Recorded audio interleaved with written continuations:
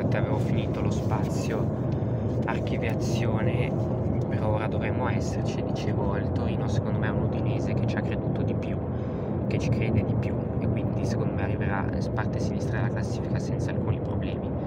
Arrivati all'ottavo posto io ci metto la Lazio perché secondo me hanno una squadra che se non sapessi che si tratta della Lazio arriverebbe a metà classifica. È vero ce li hanno comunque Castellanos Romagnoli Provedel però ehm, Baroni non mi dispiace neanche troppo però c'è onestamente troppo poco. Il livello è veramente si sta abbassando. Lo Tito nonostante si fosse qualificato in Champions due anni fa continua a non spendere. E, e, quindi secondo me la qualità della rosa ne risentirà, ne risentirà anche il cammino in questo campionato.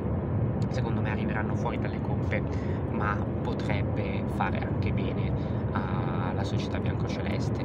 Settimo posto ci ho messo la Fiorentina perché con l'arrivo di Gudmundsson hanno secondo me un, un, un fattore in più e comunque il Palladino è bravo e saprà dare secondo me la quadra, la giusta quadra alla Viola che secondo me si riconfermerà per l'ennesima volta in Conference League.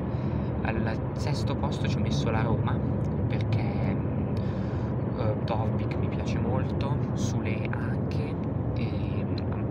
Lukaku, sì hanno perso Di Bala, però comunque uh, l'anno scorso non è, fatti, non è che li avessi visti così bene. E, c'è da vedere De Rossi, certo c'è da vedere De Rossi come si comporterà con questa, con questa squadra, e, perché secondo me comunque non è una squadra da Champions e quindi per questo non, non, li, metto, non li, metto, più su. Eh, faranno sicuramente il loro campionato, magari tra alti e bassi, ma secondo me topperanno per un altro anno l'obiettivo stagionale. Quinto posto ci ho messo l'Atalanta perché se si riprendono un